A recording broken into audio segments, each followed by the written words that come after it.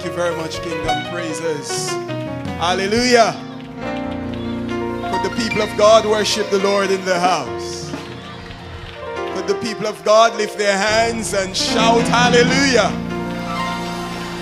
Could you shout hallelujah? Hallelujah. Praise the Lord. Hallelujah. Blessed be the name of the Lord our God. We give God thanks that indeed He's our shield. Hallelujah. Praise the Lord. Hallelujah. Hallelujah. The one who lifts our head. When we're feeling down, He's there for us. When no one regards us, He says that we're important to Him. And He stands with us and lifts us up. Hallelujah. What a mighty God we serve. What an awesome God we serve. What a great God we serve. Hallelujah. Hallelujah. God who is not a respecter of persons. A God who regards all his children as equal. And we give him thanks. Hallelujah. My sisters and brothers, I greet you well in the name of our Lord and Savior Jesus Christ. It is such a blessing to be with you today. I would like to greet uh, the pastor who's here. They are so straight into the word. Amen. I want you to turn with me to Matthew chapter 4. Matthew 4. I'm working with the theme for the camp meeting walking where Jesus walked. The gospel according to St. Matthew, chapter 4. If you have found it, you may say amen. amen. Then Jesus was led up by the Spirit into the wilderness to be tempted by the devil. And he fasted 40 days and 40 nights. And afterward, he was hungry. And the tempter came and said to him, If you are the Son of God, command these stones to become loaves of bread. But he answered, It is written, Man shall not live by bread alone, but by every word that proceeds from the mouth of God. Then the devil took him to the holy city and set him on the pinnacle of the temple and said to him, If you are the Son of God, throw yourself down, for it is written, He will give His angels charge of you. And on their hands they will bear you up, lest you strike your foot against a stone. Jesus said to him, Again it is written, You shall not tempt the Lord your God. Again, the devil took him to a very high mountain and showed him all the kingdoms of the world and the glory of them. And he said to him, All these I will give you if you will fall down and worship me. Then Jesus said to him, Begone, Satan, for it is written, You shall worship the Lord your God, and him only shall you serve. Verse 11, and last. Then the devil left him, and behold, angels came and ministered unto him. Let us pray. Our God and our Father, we want to thank you that you sent your Son Jesus to walk the face of this earth and to deliver us from our sins so that we can walk in his footsteps. We pray, oh God, that your spirit would flow in this sanctuary in a very special way at this time. I ask, oh God, that your anointing would rest upon your manservant. I pray, oh Father, that someone would hear you even as I speak.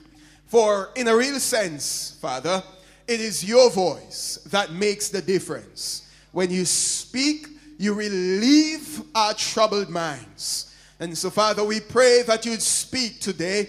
We ask, oh God, that your Holy Ghost would just uh, flow and dominate and control the atmosphere, and that you would expel any force in, within, or without this sanctuary that is not of you, O Father. and that your word would take root in our hearts. We say thanks to you, O God, in the name of Jesus. And God's people said, Amen. Amen.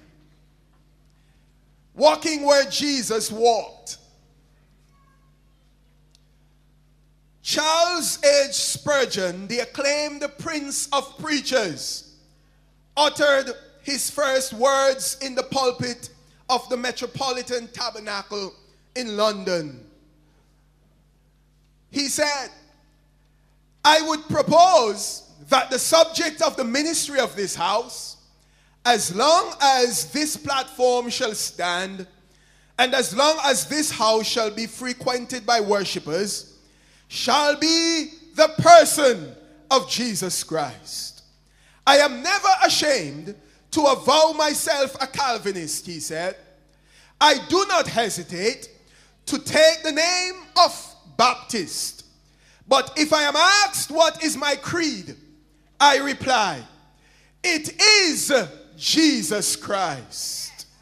My venerated predecessor, he says, Dr. Gill, has left a theological heritage admirable and excellent in its way. But the legacy to which I would pin and bind myself forever, God helping me, is Jesus Christ, who is the arm and substance of the gospel, who is in himself all theology, the incarnation of every precious truth. Those are the words of Charles Spurgeon. In essence, he was saying that his ministry would revolve around Jesus Christ. Indeed, my sisters and brothers, your theme suggests that you are following in the footsteps of the great Charles Spurgeon. Your aim and focus is Jesus Christ, and this is commendable. It is a noble desire to walk where Jesus walked. Indeed, we should strive to do just that on a daily basis.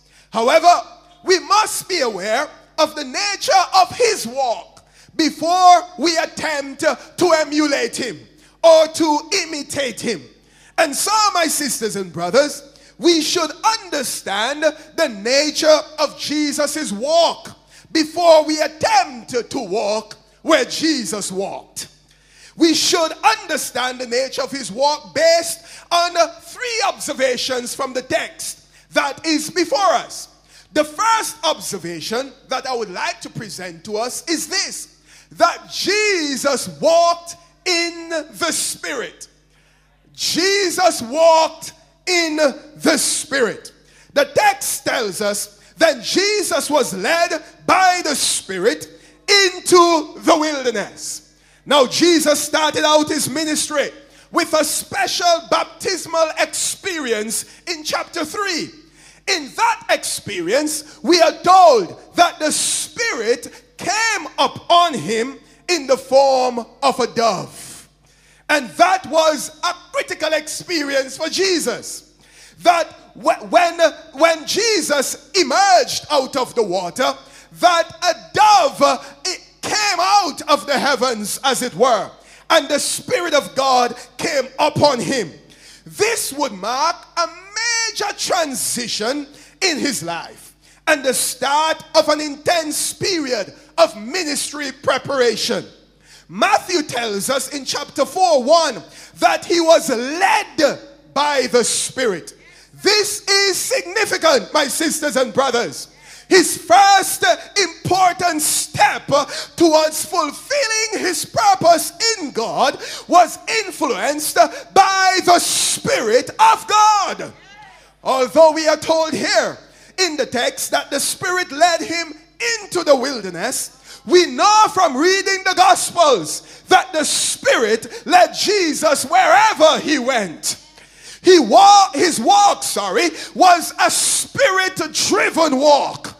No wonder Jesus was so effective. Now, some people would say that Jesus was the Son of God. And he probably did not need the Spirit to come upon him the way eh, eh, he did. But what is critical for us to understand that if Jesus needed to walk under the influence of the Holy Spirit, uh, how much do we as his children need to walk under the influence of the Holy Spirit? Those of us who seek to walk where Jesus walked must be aware of and willing to experience the leading of the Holy Ghost. Too many persons in the church today, my sisters and brothers, are forgetting the significance of the presence and power of the Holy Ghost in their lives. One moment.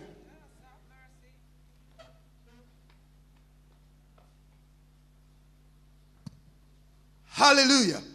It is important to note that the Spirit led Jesus into the wilderness, or according to the original word, into the desert to be tempted.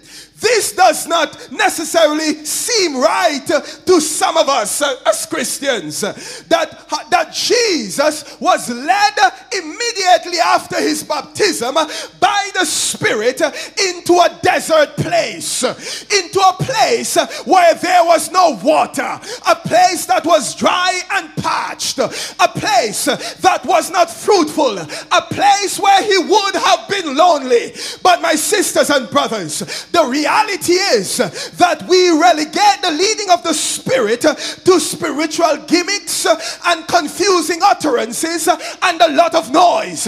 But when the Holy Ghost came upon Jesus, he led him to a place where he would have been alone for a while for a special reason.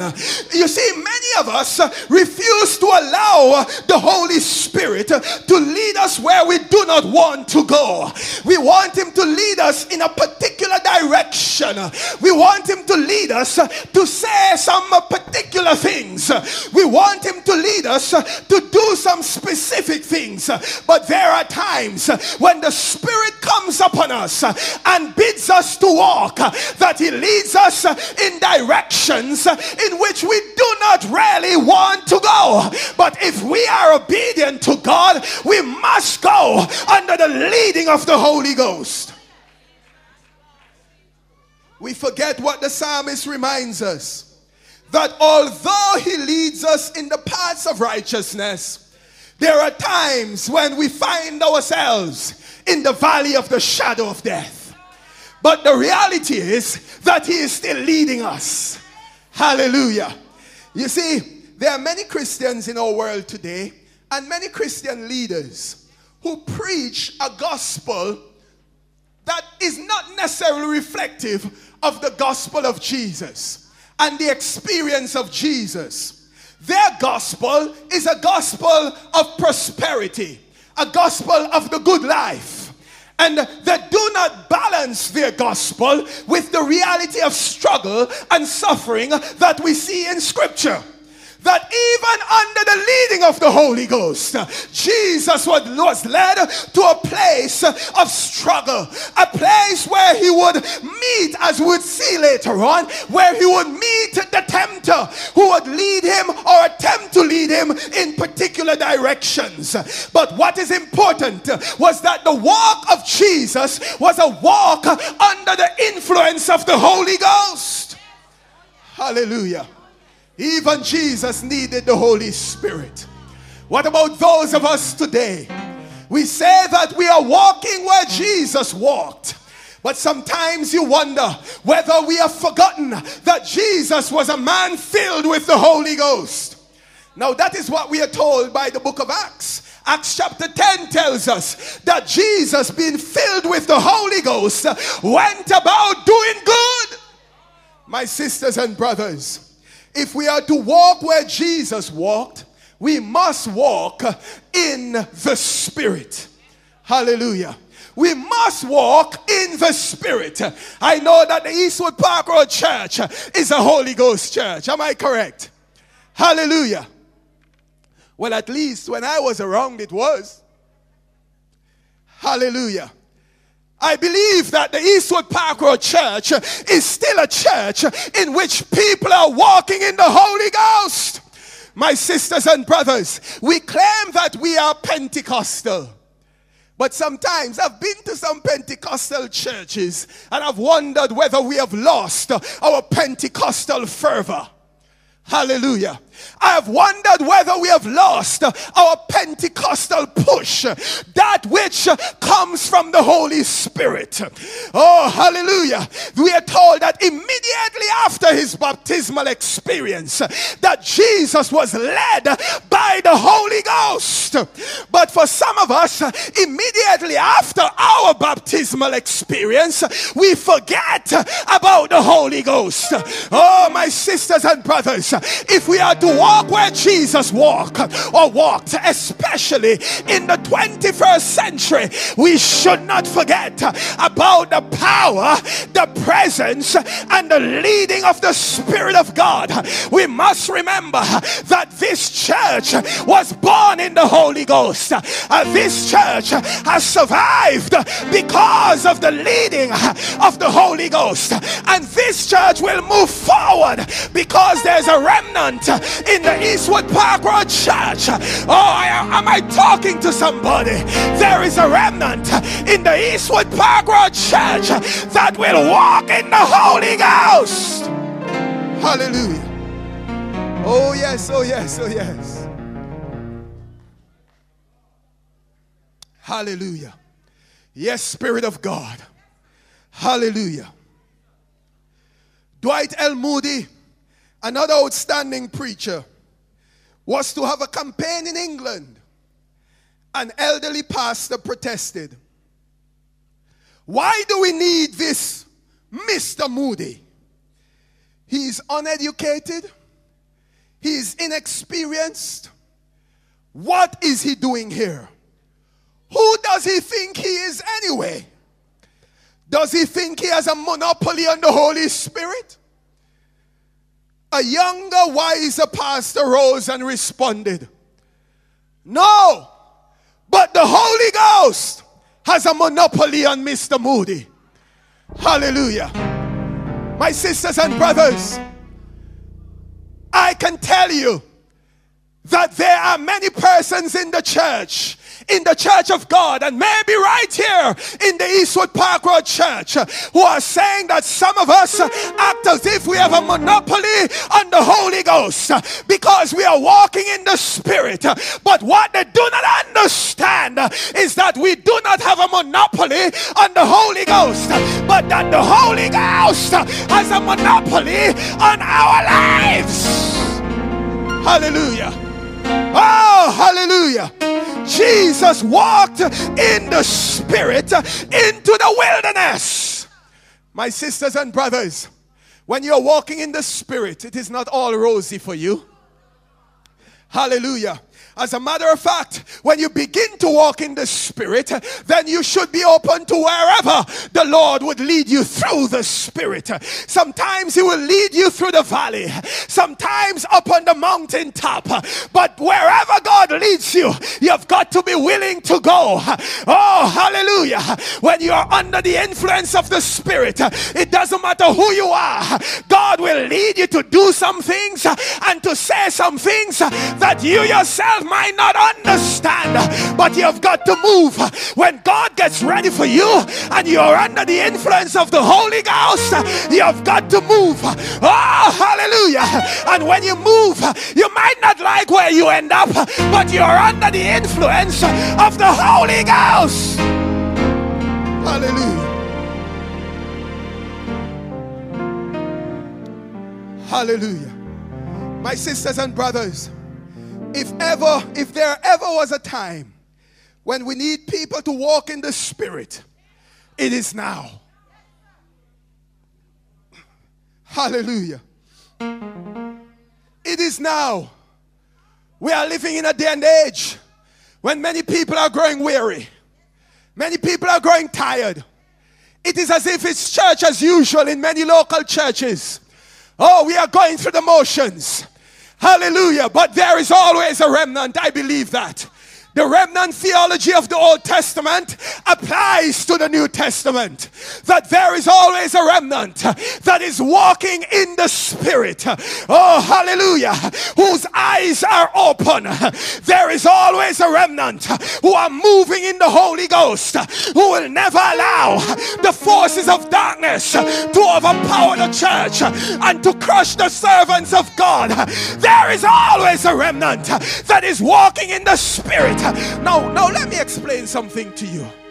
Jesus came on the scene when there was uh, uh, there was this uh, this atmosphere of expectation that the Messiah was going to come, and the Messiah did come. They were expecting a particular kind of Messiah. They were expecting a political Messiah. Like many people in Jamaica are expecting some kind of political Messiah. They were expecting somebody to deliver them from Roman bondage. But Jesus came as a different kind of Messiah. He was the Son of God kind of Messiah, or Son of Man kind of Messiah. He was the Messiah who come or who came filled with the Holy Ghost, going about healing and delivering people, raising the dead. He did not meet their expectations. The same thing applies in the church today. That people expect that when you are in a particular church, that you'll operate a particular way, that you'll be a particular kind of person. But when the Holy Ghost is upon you, you just never know where God will lead you, how He will guide you, what He will tell you to wear or not to wear, what He will tell you to say or not to say. You have got to be ready when the Holy Ghost is come upon you. Hallelujah. Hallelujah. Oh, yes walking where Jesus walked. I would rather the Holy Ghost have a monopoly on me. Hallelujah. There are some people in the Eastwood Park Road Church. Oh, the Holy Ghost has a monopoly on you. And some people are wondering how you so spiritual, how you so noisy, oh, how you walk about the church so much. But they do not understand that when the Holy Spirit is upon you, when you are walking in the Holy Ghost, you have no other choice but to do what you do. Do what you do. Some people might not understand. Oh, yeah, they might not fit with their theology or their theological perspective on reality or on their biblical perspective on life. But when the Spirit is upon you, He might not lead you to a palace, He might lead you to a broken down house somewhere. When the Holy Ghost is upon you, He might lead you into the wilderness. But you should rest assured that you are walking in the Spirit, that there is nothing greater than being in the Spirit. No matter where you are going, you are under the influence of the Holy Ghost. Oh, Jesus. Hallelujah. Jesus walked in the Spirit. We should walk in the Spirit as well. My sisters and brothers, I do hope that there are people in this church who are seeking to walk in the Spirit. Because I tell you that the forces of darkness, they have been let loose in the church. They are fighting against the pastors in the church. Do you hear what I'm talking about? Are you aware of the fact that so many pastors are struggling? So many pastors are falling there is a spirit that has been released in the church of God, and that spirit wants to bring down pastors.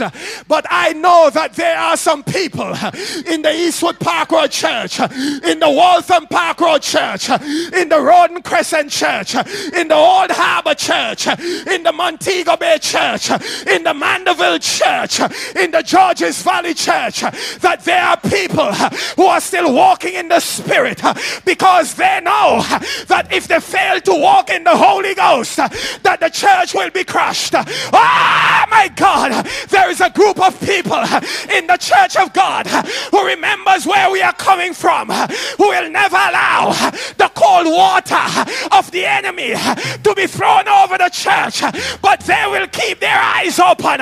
They will keep walking in the Holy Ghost no matter what is going on around them. They are Holy Ghost people. Hallelujah. Could I hear a shout of hallelujah from the Holy Ghost people in the house? Hallelujah. Church, I'm serious. I'm serious about it. There's a spirit released in the church of God wanting to bring down the ministry. Hallelujah. But guess what? Ah, it's not going to happen. A few of us might fall. Ah, but there are people who are walking in the spirit. Some of them have been led into the wilderness. And that leads me to the second point.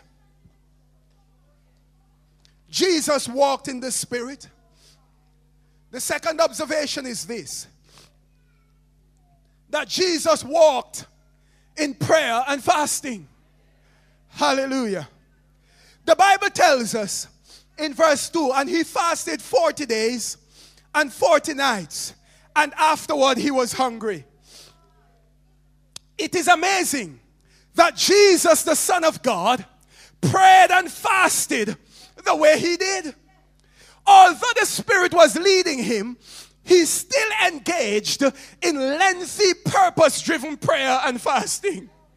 Jesus never thought that he was too spiritual or too spirit filled for fasting and prayer. Jesus, although he was God, never said, I am divine, I do not need prayer and fasting. He never demonstrated that he had reached a point in his spiritual life where fasting was unnecessary. As he was about to embark, embark on an activity filled ministry, he knew that fasting and prayer were necessary. The text suggests that we can, cannot walk where Jesus walked without being engaged in purpose driven fasting and prayer. Do you hear me, church? For us to walk where Jesus walked, we must be willing to fast for long hours. We must prepare ourselves for a life of prayer and fasting that will bring about miraculous experiences in the church. My sisters and brothers, many people today see little value in walking in prayer and fasting. However, those of us who have experienced the power of prayer and fasting know that we should not, we should not, or we would not, sorry, have overcome some powerful temptations and won some fierce battles without prayer and fasting. Oh, church, are you hearing me today? Great revivalist Charles Finney once said, that sometimes I would find myself in a great measure empty of the power of the Spirit. I would go and visit and find that I made no saving impression. I would exhort and pray with the same results. I would then set apart a day for private fasting and prayer. Oh, hallelujah. After humbling myself and crying out for help, the power would return upon me with all its freshness. This has been my experience all my spiritual life. Oh, hallelujah. My sisters and brothers, that has also been my experience. There have been times when I thought that I was some super Christian, that I have reached a point in my life where I did not need to pray, nor I did not need to fast. But it was during those times when I experienced some of my greatest challenges. It was during those times when I found myself on my face sometimes. It was during those times when I lived a life of defeat.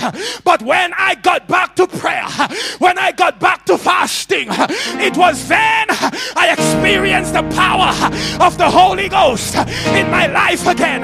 Does the EPR church know about the power of prayer and fasting? Or do we still fast in this church? Hallelujah.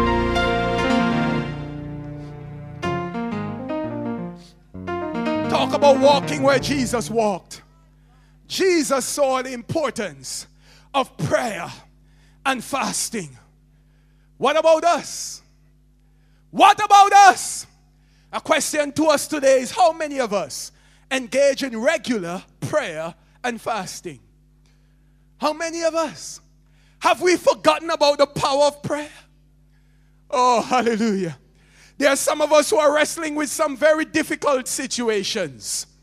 There are some of us who are wrestling with some very troubling circumstances. But I declare to you that if you only pray and fast for a while, that God will come through for you. I can guarantee you that. As I reflect upon scripture, I remember a time when Jesus and, his, and some of his disciples were on a mountain and they had a tremendous spiritual experience.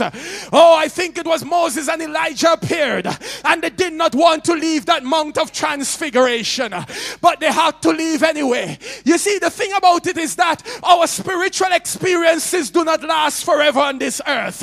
Some of us would like them to last forever, like Peter, but they do not last forever. We have to leave the mountaintop and go down to the valley to face the realities of life. When Jesus left the mountaintop and went into the valley, we are told that a man approached him and said, Master, please help me. I took my son to your disciples.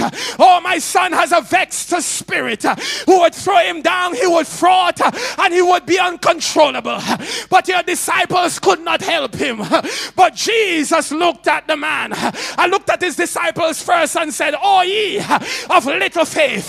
Then he looked at the young man and he spoke to the spirit and said, Get out of the young man. Oh, and the spirit came out of him. Immediately, his disciples went to Jesus and said, Master, how come we could not deal with that devil?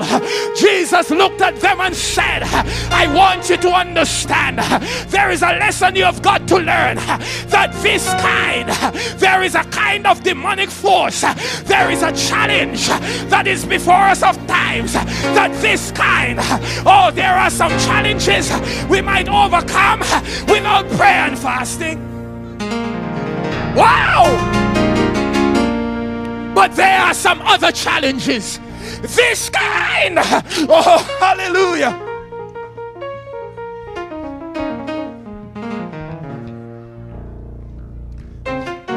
I believe somebody is struggling in this house today. I believe that you have a, a, major issue that you're facing today. But Jesus says, This kind, this particular issue, this challenge goeth not out but by prayer and by fasting. Some people need to get back down on their knees again. Oh, hallelujah. I do not know, but some of us, we haven't been on our knees in a long time. Some of us, we haven't cried cried out to heaven in a long time. Oh, hallelujah. Oh, have you been to? I heard someone asking a church the other day. Have you been to Nice City? Oh, hallelujah. Have you been to Nice City? As a student of theology, I could ask you Have you studied kneeology? Have you lived the kneeology? Oh, hallelujah. The enemy doesn't want to see a child of God on his knees. Oh, hallelujah. There is power in prayer, there is power in fasting. When you pray and fast, something happens in your spirit. Oh, my God, my God. Hallelujah. Jesus was about to embark on a challenging ministry. He prayed for 40 days and 40 nights. He fasted for 40 days and 40 nights. My sisters and brothers, do we want miracles to happen at the Eastwood Park Road Church? Oh, hallelujah. Oh, do we want the hand of God to move in this local church? Ah, hi. I am calling for some prayer warriors. Where are the prayer warriors of the Eastwood Park Road Church? Where are the intercessors? Ah, hallelujah. You want to walk where Jesus walked? You've got to arise. Where are the people who have been blessed with the gift of prayer? Oh, arise, EPR. Arise. Get down on your knees. Oh, hallelujah. Oh, the ministers are depending on you. The church is depending on you. There are miracles to perform. There are healings to experience. But we have got to get down on our knees again. Oh, Jesus.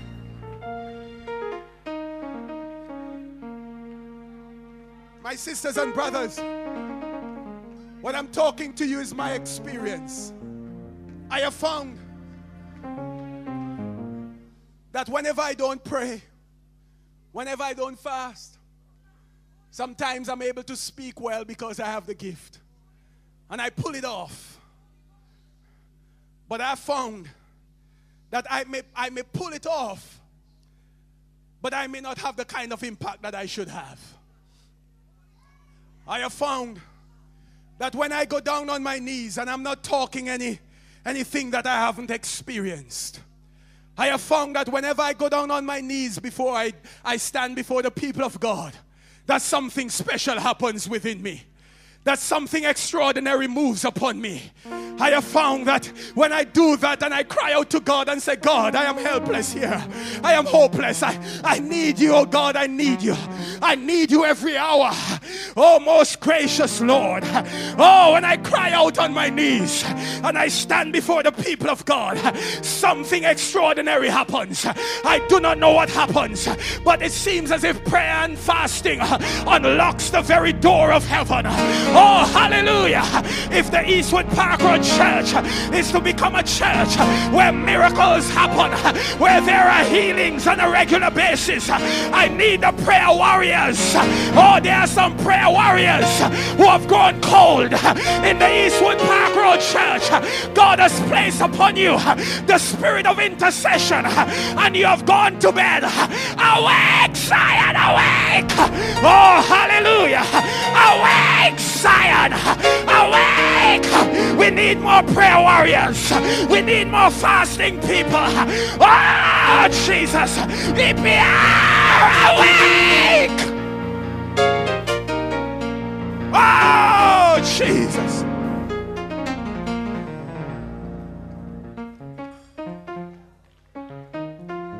There are some people in this church who have been struggling for years with some intractable, some stubborn challenges, some physical problems.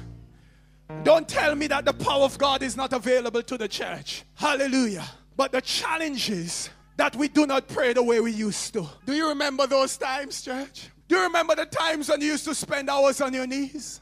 Do you remember the times when you used to come to church when it was fasting and you fasted for hours and God did great things in your life? Now God has blessed you, He has prospered you, and you have forgotten how to pray, you have forgotten how to fast.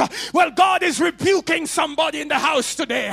God is saying to somebody, Arise, awake out of your slumber, get down on your knees. There are things to be done.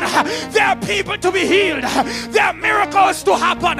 But you've got to awake. Hallelujah. Jesus walked in the Spirit. Jesus walked in prayer and fasting. Finally, Jesus walked in the Word. Jesus walked in the Word. Do you hear that, church? This is a tremendous reality. His life was lived on the foundation of the Word of God. This is evident from his response to the devil's well crafted temptations. Satan the tempter knew that Jesus was a special gift to the world on a special mission. He attempted to derail Jesus by getting him to focus on meeting his needs in his own way. But Jesus responded. When Satan approached him and said, you're hungry, command that these stones be made bread. Jesus said, It is written. Hallelujah.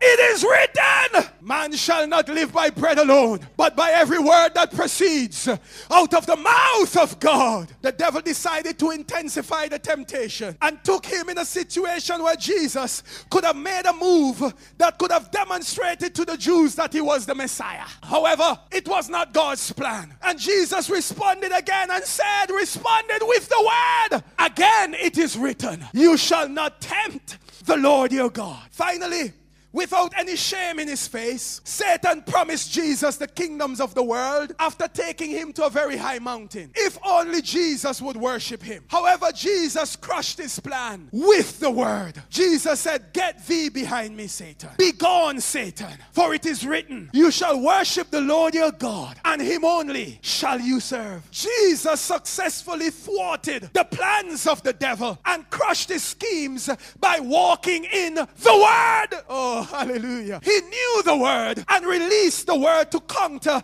the crafty temptations of the devil. The challenge that we have today is that many of us do not even attempt to read the word. Oh, am I not say, saying the right thing? Could I hear an amen? Much less to release it when we are tempted. We caught the psalmist who says, Thy word have I hidden in my heart, that I might not sin against thee. But when we are tempted, we forget the word.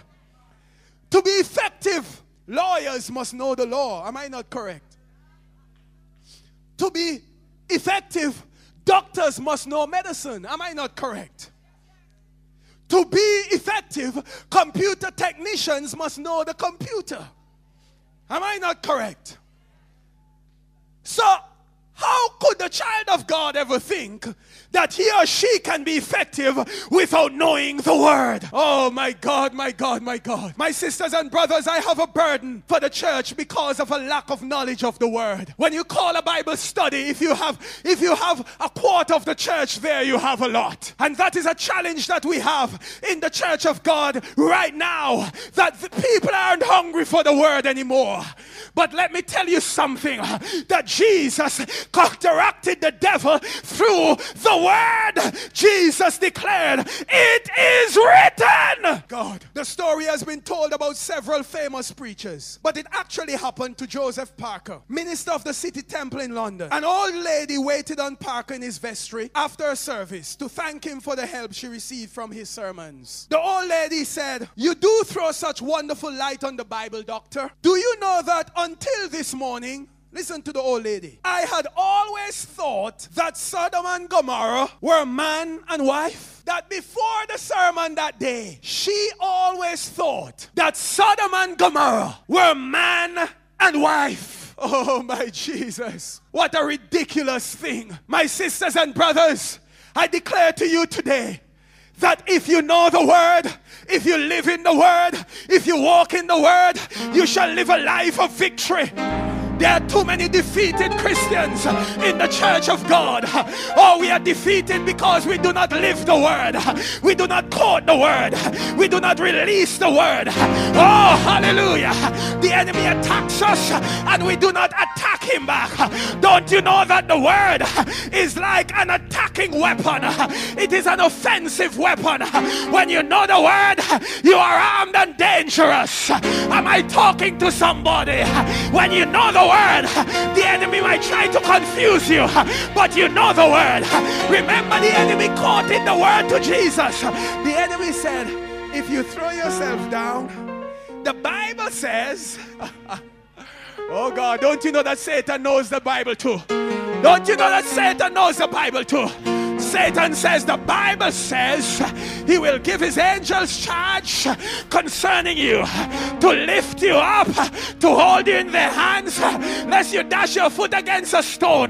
But you see, the enemy, oh boy, he's very crafty. If it was one of us, we would have said, You know, devil, you're right, you know, devil, you're so right. but Jesus knew better than that. Jesus said, Aha, you think me not know you know the word, but let me give give you another word. Oh, hallelujah. that you shall not tempt the Lord your God. Oh, hallelujah. The enemy knows the word. The enemy comes into the church and he uses the word conveniently. Oh, I know that people in EPR know the word. I was speaking to a sister when I just came, Reverend Gordon. And the sister said, You know, Pastor, I have been here since dirt. Gotten good preaching. I've got good teaching from Reverend Blair. I'm grounded in the word. And I believe that there are other people here who are grounded in the word. But the challenge is there are many other people out there in the world. The moment they hear that somebody with a with a particular name is coming, some prophet this and some evangelist this and some missionary that, they believe every word that comes out of their mouth. Can I talk to EPR? Oh, but when a local brother stands up, we do not want to hear the brother because the brother is coming from nowhere.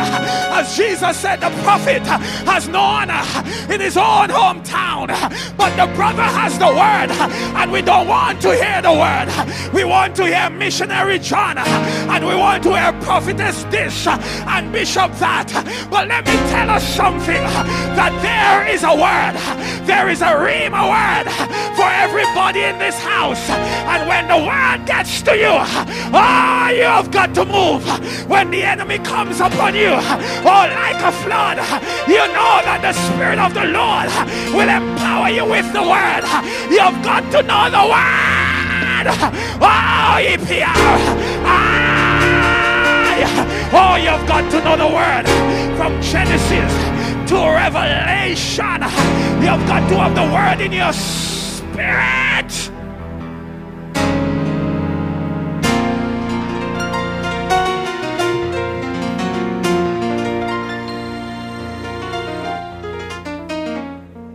Hallelujah. Can we go through the word? In Genesis, He's the creator. Oh, hallelujah. Do you hear me? Do you hear me? In Exodus, he's the liberator. Oh, hallelujah.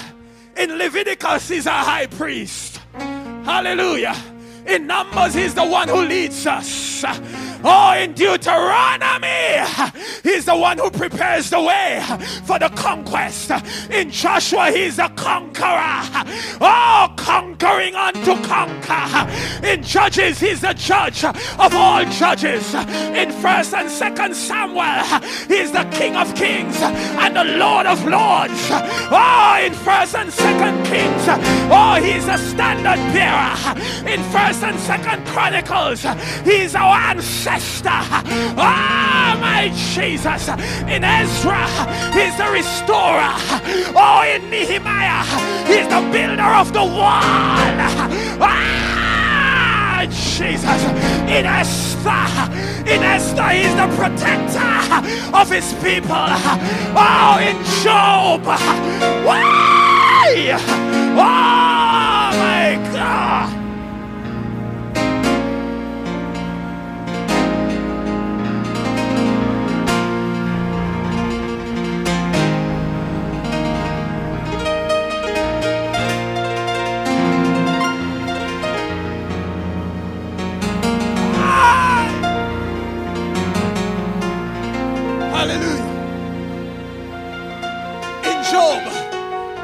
the Goel, the kinsman redeemer. Oh, hallelujah. I hear Job say, Oh, Job, Job, Job. I know that my Redeemer lives. When the enemy comes to you and says to you, You know, see you, you know, I have nothing, nothing now go on for you. Mm. Oh my God, look at sister so and so. Things are going for you. Just pop off the word, man. Just say, Satan, I know that my Redeemer lives. Hallelujah! And in the end, he shall stand on this earth. And though my flesh be destroyed, yet in my flesh will I see God. In Job, he's the Redeemer in Psalms. Hallelujah. He is the one to whom we lift our hands and bow our knees. He is the ancient of days. He's the one who was and is and is to come. Oh, in the Proverbs, he is wisdom personified. Oh, hallelujah. Hallelujah. In Isaiah, oh, he is the Son of God. He is the Prince of Peace.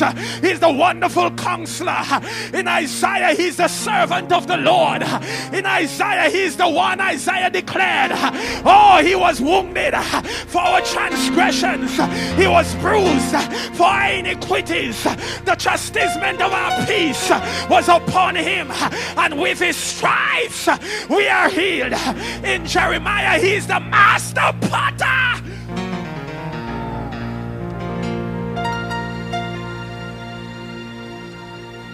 In Ezekiel, he's the wheel within the wheel. Oh, in Daniel, oh, he's the lion of the tribe of Judah.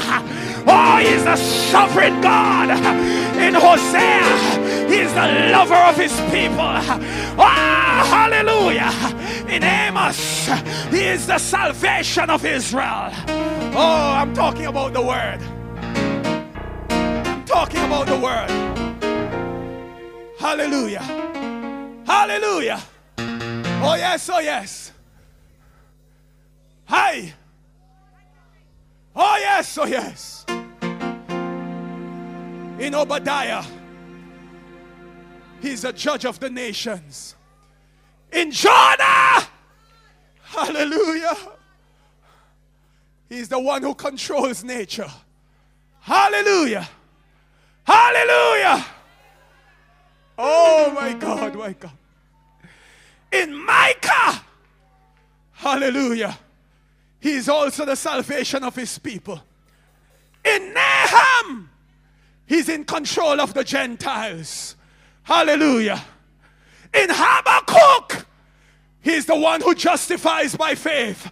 He's the one who gives the vision, and we run with the vision. Oh, in Zephaniah, He's the one who stands tall above the nations again. In Haggai, He's the restorer of the temple.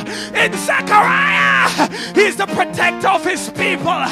In Malachi, oh, He's the one to whom we give, and He gives back to us. Oh, hallelujah in Matthew. Oh, he's the Son of God. Oh, hallelujah. I'm talking about the Word. Look at somebody and say, You must know the Word.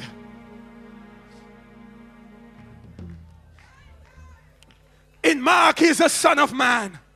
Hallelujah. In Luke, he's the doctor of all doctors. In John, he is the God man, God in the flesh. In Acts, he is the risen and ascended one. Oh, in Romans, he is the one who would restore Israel. In Romans, he is the one who brings about salvation and justification. In 1st and 2nd Corinthians, he's the healer of the church. He's the one who dwells in his temple. Oh, hallelujah. In Galatians, He's the one who sets us free. And when we are set free, we are free indeed. In Ephesians, hallelujah. In Ephesians, He's the one who gives us power to fight against the forces of darkness. That we do not wrestle against flesh and blood, but against principalities and powers, against the rulers of the darkness of this age, and against wicked spirits in heavenly places. But He grants us His armor.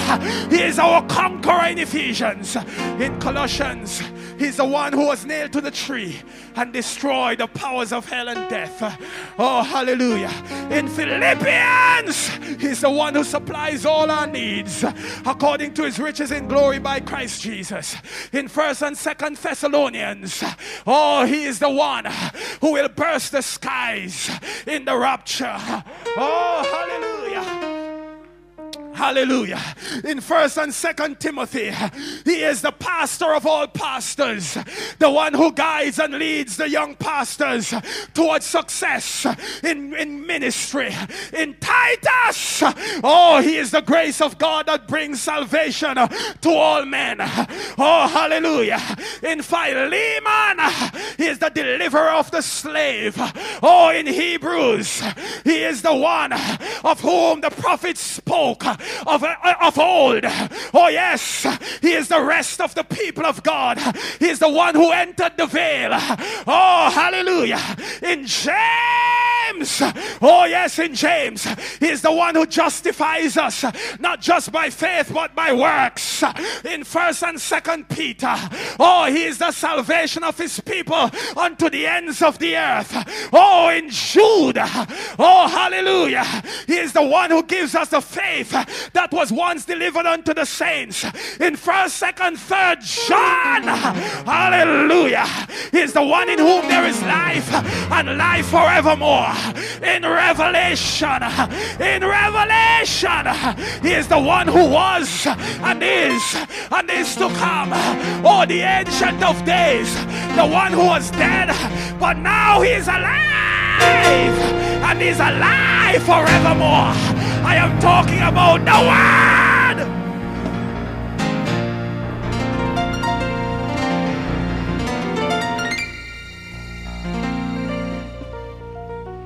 My sisters and brothers, don't make people fool you. Know the Word. Know the Word for yourself. Be able to interpret it for yourself. Hallelujah. When you know the word, you can't go under that easily. When you know the word, you will stand tall in, even in the most difficult of circumstances. When you know the word, when the winds and waves of life blow against your ship, you will be anchored. You will be anchored. Hallelujah! You will be anchored. And you will cry out, The anchor holds. Though the ship is battered. Hallelujah. The anchor holds. Though the sails are torn, because you're able to say, It is written. It is written. It is written. Hallelujah. My sisters and brothers, I encourage you today to walk in the Spirit, walk in prayer and fasting, and know the Word of God. Know the Word of God that will able to give you life and build you up and give you a place among those that are sanctified. I encourage the Eastwood Park Road Church to declare when you are in difficult circumstances, it is written. Hallelujah. When you feel lonely, declare it is written, I shall never leave you nor forsake you. Hallelujah. When you feel down and out, oh, when you feel like you are going through the fire, Declare it is written, Thus says the Lord, when you go through the waters, I will be with you. Oh, when you go through the fire, you shall not be burned. When you go through the floods, you shall not be overwhelmed. Oh, hallelujah, hallelujah. Oh, when you feel like you have nothing in this world, when nothing now go on for you, declare the prayer of Jabez. It is written, Oh Lord, bless me indeed, enlarge my territory, extend my borders. Oh, hallelujah. When people look at you and say that you're a nobody, declare it is written that now are we the sons of God, and it does not yet appear what we shall be but we know that when he shall appear, that we shall be like him, for we shall see him as he is. When you feel as if heaven is not your home, when you feel as if oh, you are not going there, but you know you believe in Jesus, declare it is written. Oh, Jesus said, Let not your heart be troubled. You believe in God, Believe also in me. In my Father's house are many mansions. If it were not so, I would have told you. I go to prepare a place for you. And if I go, I, I will come again and receive you unto myself, that where I am, there ye may be also. Oh, when you do not know where you are going, remember it is written, For I am the way, I am the truth, I am the life. Oh, stand with me, church. Hallelujah!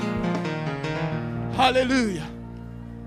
Oh, when it is dark in your neck of the woods, when it seems like you are not being provided for, remember the Lord is my shepherd.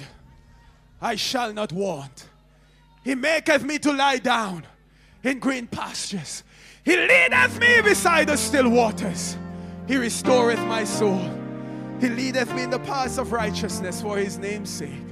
Yea, though I walk through the valley of the shadow of death, I will fear no evil, for thou art with me. Thy rod and thy staff, they comfort me. Oh, when you are going through difficult times, when the enemy is upon you, when your family is under attack, just declare it is written, The Lord is my light and my salvation. Whom shall I fear? The Lord is the strength of my life. Of whom shall I be afraid? When the wicked, even mine enemies, come upon me to eat up my flesh. Oh, they stumbled and fell. Though an horse should encamp against me, in all this will I be confident.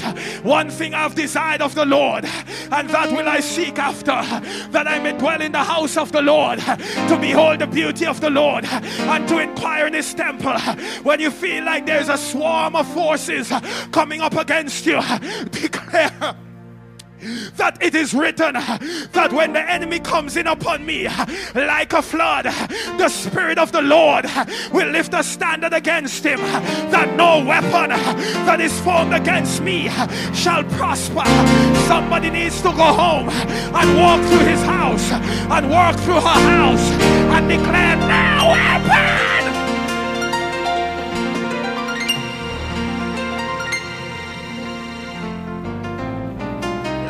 Weapon! That is the word of God. We must believe the word of God. No weapon that is formed against me shall prosper, and every tongue that rises against me in judgment. I shall condemn, for greater is he that is in me than he that is in the world. Oh, hallelujah, hallelujah. We shall overcome by the word of our testimony and by the blood of the Lamb. When you are down and out, just declare that the blood of Jesus. I'm talking about the word. I'm talking about the word. We must walk in the word. We must live the word. We must declare the word. Whatever circumstance you are going through or you're in, there's a word for that circumstance. Speak the word into it. Do you hear that, church? Speak the word into it. And finally, maybe for somebody who needs to hear this, you probably have been struggling. You do not have much at home. I want you to go and do this at home. You know, before I came here, I pray that the Lord will do something special. I want you to go home, open your fridge, open your cupboards, and speak the word of God. It is written, My God shall supply. Hallelujah. Am I talking to somebody? Before I came, I said, God, release your spirit of prophecy in this place. And I know somebody needs to hear this word. Open your fridge. It might look foolish, but go home under the influence of the Holy Spirit. Open your fridge, open your empty cupboards, and declare the word of God. It is written. Let me hear the church say, It is written. Let me hear the church say, It is written. Hallelujah. For my God shall supply all my needs. Woo! According to his riches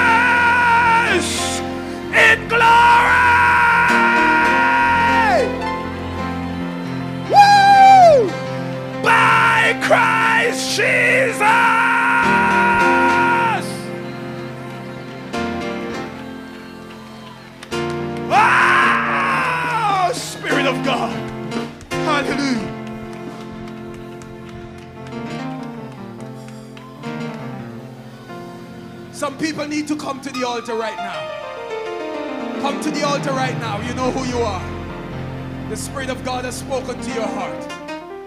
Come right now, right now, right now.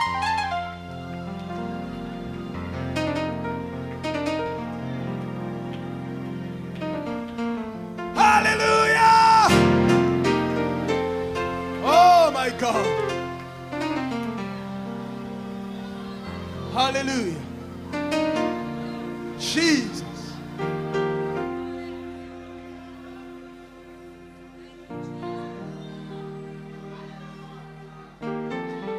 Some of you have been struggling for so long that you're wondering if hands step on you. You have been struggling for so long. You're wondering if they do something to you. You're wondering if people have done you wrong. Hallelujah. But you need to speak the word of God into your life. Hallelujah. I am the head and not the tail. Hallelujah. Some people want you to act as if you are the tail and to live a life as if you are the tail. But God says you are the head and not the tail. Hallelujah. Do you hear this word today? Hallelujah. Oh God, Spirit of the living God. Spirit of the living God.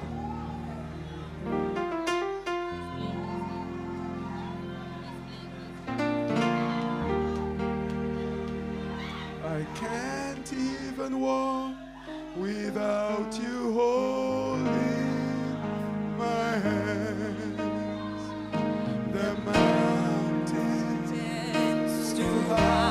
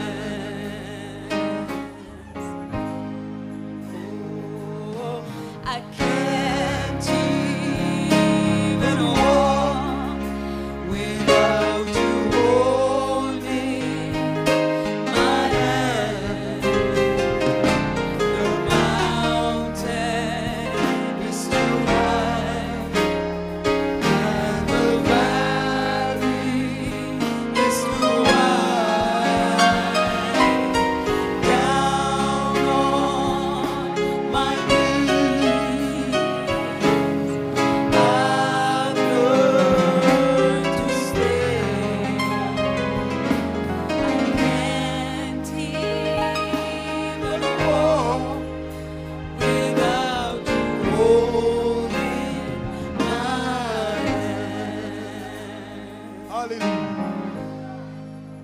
Hallelujah. Hallelujah.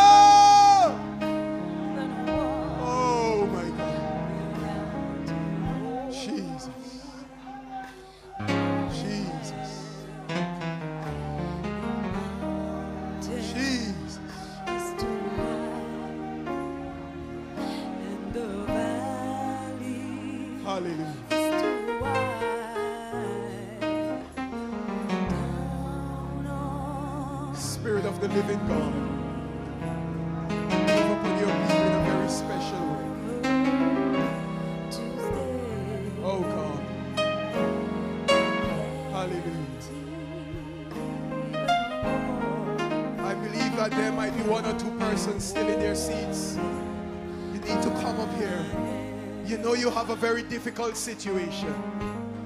And you want God to deal with that situation. I'm going to believe God for you right now.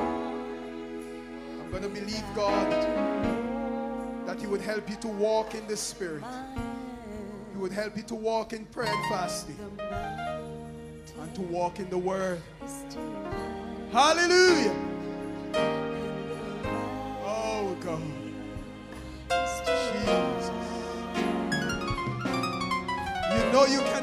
Without Him holding your hand. So don't stay in your seat right now. Come to the altar and be blessed. Hallelujah. Come to the altar and be blessed. We want to get out of here now. We are way beyond time. Hallelujah. Jesus.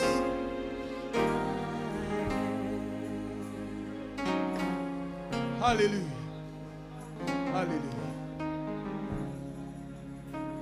There are so many of God's children at the altar right now. Some of you have some situations dealing with. Man, if you were to only say, you are so overwhelmed by your circumstances, you are crushed by the challenges that you face. God is saying to you today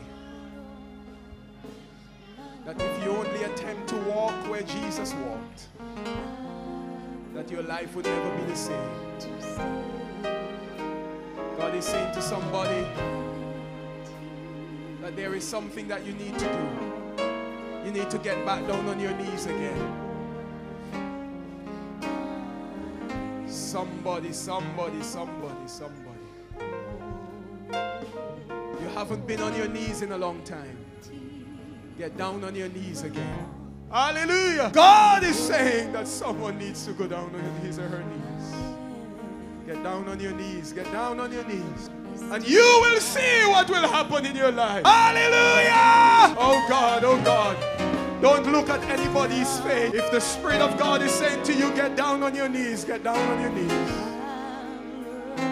Don't watch any face right now. Hallelujah! Hallelujah! The Spirit of God is in this house right now and He's ministering to His children. Hallelujah. I know somebody else needs to go down on his or her knees right now. Right now, right where you are. Don't, don't, don't, don't, don't be concerned about who is beside you. You know you need to go down on your knees. Get down on your knees right now. Hallelujah. If you obey the voice of the Spirit of God, God will do something very special for you today. Hallelujah! Oh God, oh God, oh God. Yeah! I know that there are other children of God who need to go down on their knees. Swallow your pride right now and get down on your knees. And you'll see what God will do in your life. Swallow your pride. Hallelujah! Hallelujah! Whoa, whoa, whoa! Oh, yes, oh, yes, oh, yes, oh, yes. Oh, God, your children, some of them are on their knees.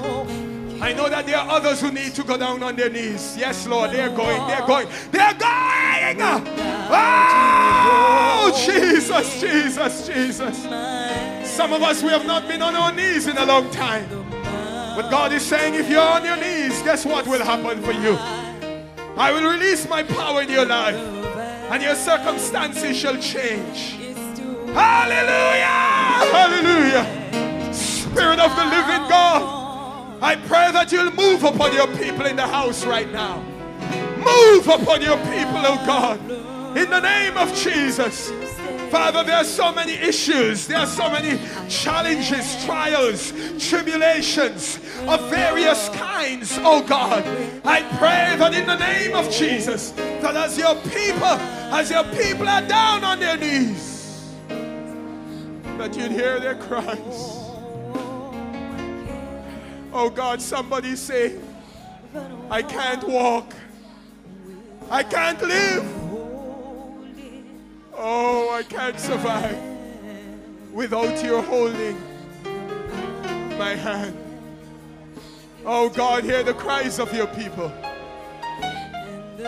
Father, many of them have tried to walk where Jesus walked, but they have failed.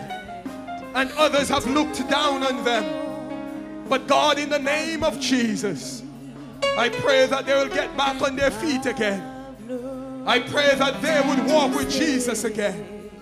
I pray, oh God, that they will be able to, to, to walk in the footsteps of Jesus. Alive in the Spirit, alive in prayer and fasting, and alive in the Word. Father, somebody needs you to come through for her. Somebody needs you to come through for him. Oh God, there are bills to be paid. Oh God, there are things to be bought. Father, there are school fees to be taken care of. Oh God, there is this car. Lord,